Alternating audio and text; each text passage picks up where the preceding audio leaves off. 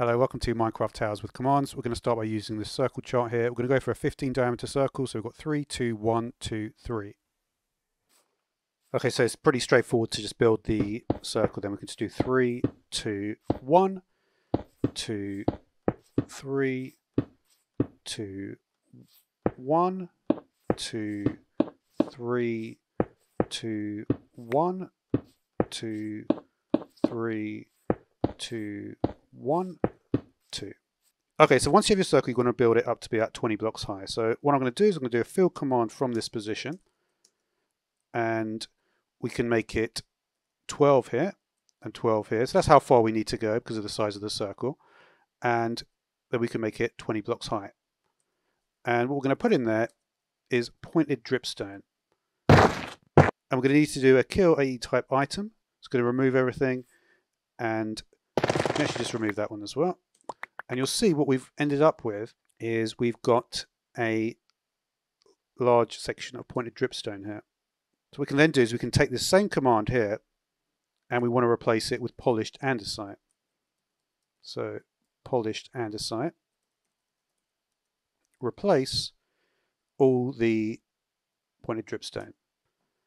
And that is going to create the tower. So we're at the top corner, then we want to make sure we go one block down, and then we want to go one block diagonally away. Okay, so the next command we're going to do is going to be this. So we're going to do a fill command, and we want it to be 14 and 14. And this time we're going to fill it with vines. So we're going to say east equals true, north equals true, south equals true, west equals true. And then we want to press keep as well to get it to keep, uh, not destroy any blocks. So once that's done, you can see we've got on both the outer and the inner perimeter, we're going to have vines. Okay, so now we're going to create the, find the center spot here. So that looks like the center spot. Again, one level down. And we're going to stand on this block here. And we're going to do a summon command of a bee. And we're going to put it right here. And we'll do a curly brace of no AI, and we'll set that to true. So here's our bee. So we're going to execute as the bee, and we're going to do as the executing entity here, run fill, go from minus 5 to 5. We'll do air replacing the vines. So now the vines have gone. Okay, so we're going to ensure that our game rule of random tick speed is set to zero here. And obviously now we only have a perimeter here of the vines. So what we could do is just get rid of these ones maybe.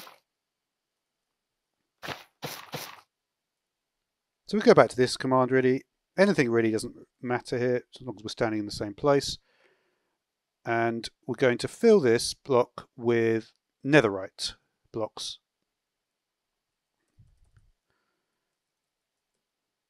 And that's going to replace all the vines.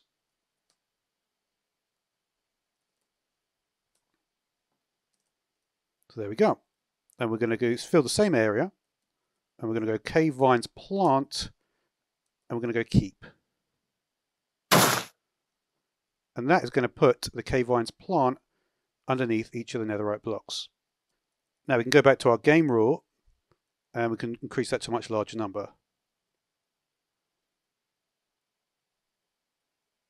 And you could just leave it at this point. That'd be quite a cool way of doing it.